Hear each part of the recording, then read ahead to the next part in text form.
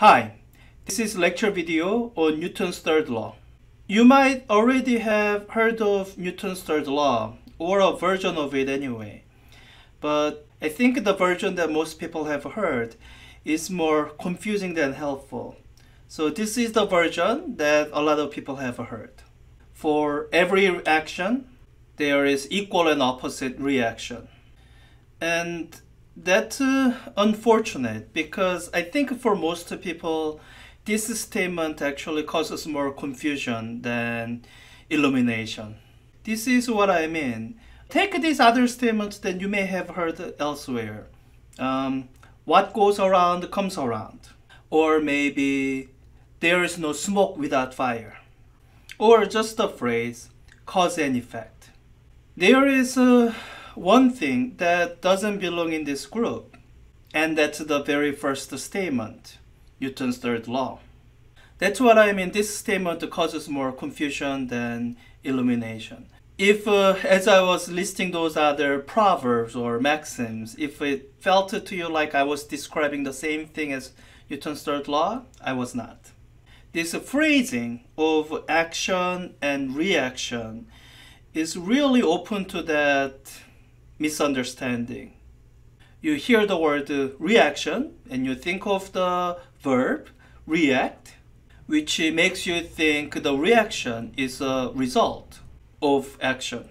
And I'm here to tell you that all these implications are false. None of these are meant when someone says, for every action there is equal and opposite reaction. So to make it extra clear, all these statements which may have seemed to you similar to what Newton's third law says, well, uh, these are principles in life. I'm not saying they are wrong, but they have nothing to do with Newton's third law. That's what I want to point out before we start talking about what Newton's third law does really mean. So what I would really like to do is first, let's do away with this phrasing that causes more confusion than help. And let me state the mechanics of Newton's third law in a way that it won't be confused for other things.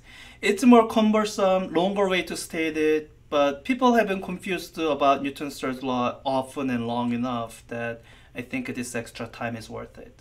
So this is how I would like to state it. For every force, A exerts on B, B exerts a force on A. And these two forces are equal in magnitude and opposite in directions. It's a bit of a mouthful, so let me draw a diagram.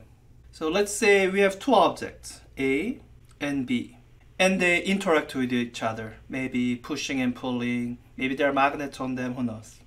Let's say they are pushing.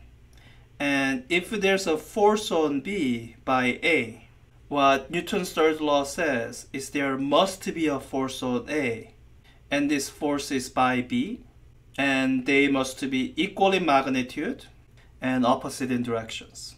So the very first thing to note about Newton's third law is it involves two bodies interacting.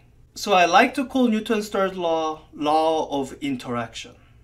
It serves as a first check on if you have understood the third law correctly if you're not involving some interaction between two different bodies, then you are not understanding Newton's third law correctly.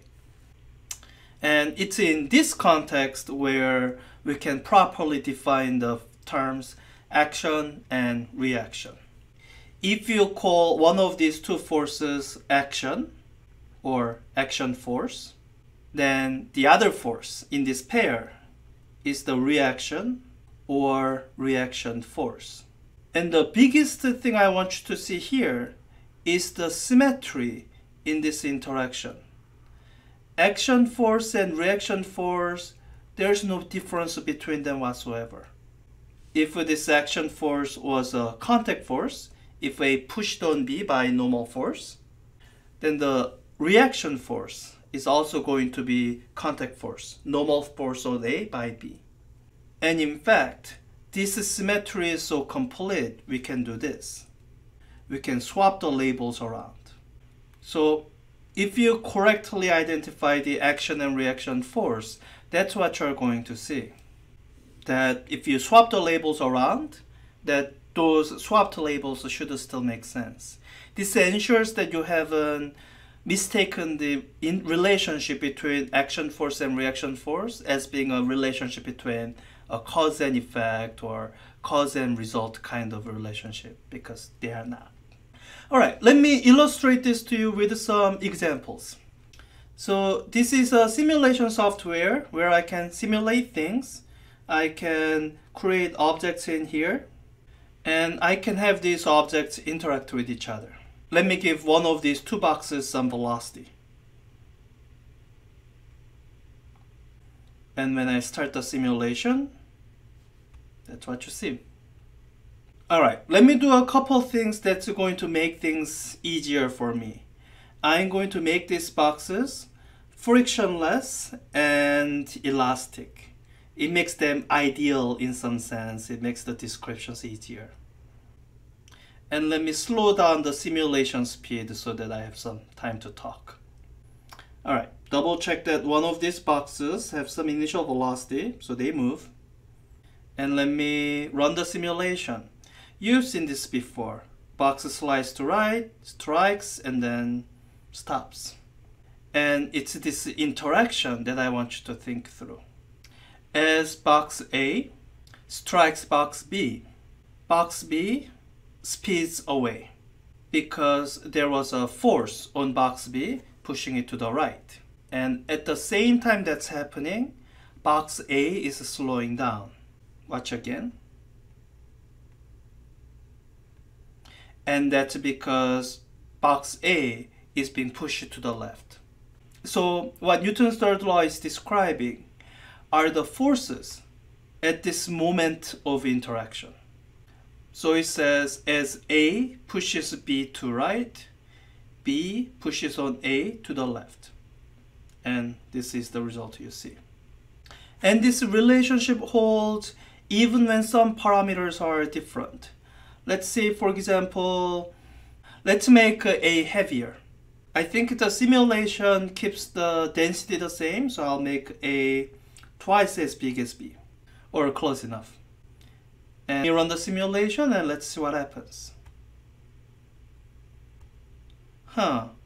So this time A didn't come to a stop. And there's a reason for that.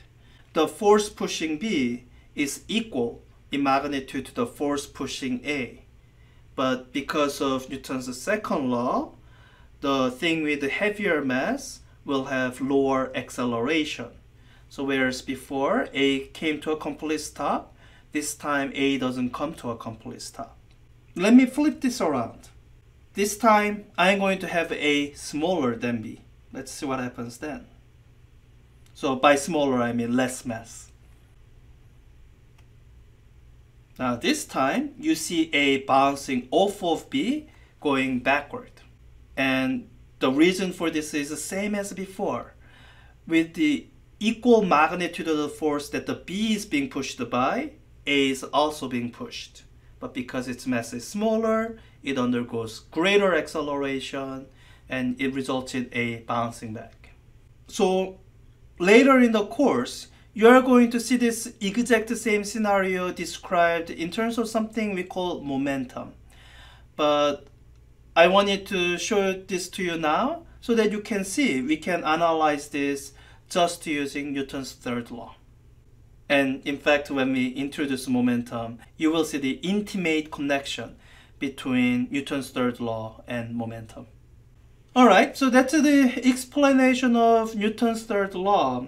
Let me end this with a fun example, just so that you can see an extended series of interactions.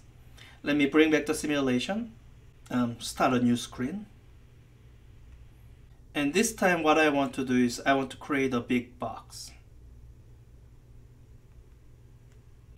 Uh, let me give this box the same properties as before, frictionless and elastic. And I want to make it a little bit heavier. I have my own reasons. So let me make it much heavier. And I need a little dot living inside the big box. Let the simulation run for a little bit. And give the dot same property as the big box. elastic, and frictionless. And let me give it a little speed to the right. And let's let the simulation run and see what happens. So as this ball bounces back and forth, I hope you see Newton's third law acting in this scenario. That as the ball bounces back and forth, called the force on the ball that makes this happen, the action force, there's a reaction force on the box around it that's causing the box to move forward a little bit. So it moves forward here, and then it gets stopped to here, and then it moves forward again, and so on. So that's all. As I keep repeating, Newton's third law is the most misunderstood of Newton's laws. If you have understood this correctly, that itself is a significant achievement. That will help uh, those of you who are going on to Physics 4A, and I guess those of you who are not going on to Physics 4A, I'm not sure what you will use this for. But until next time, bye.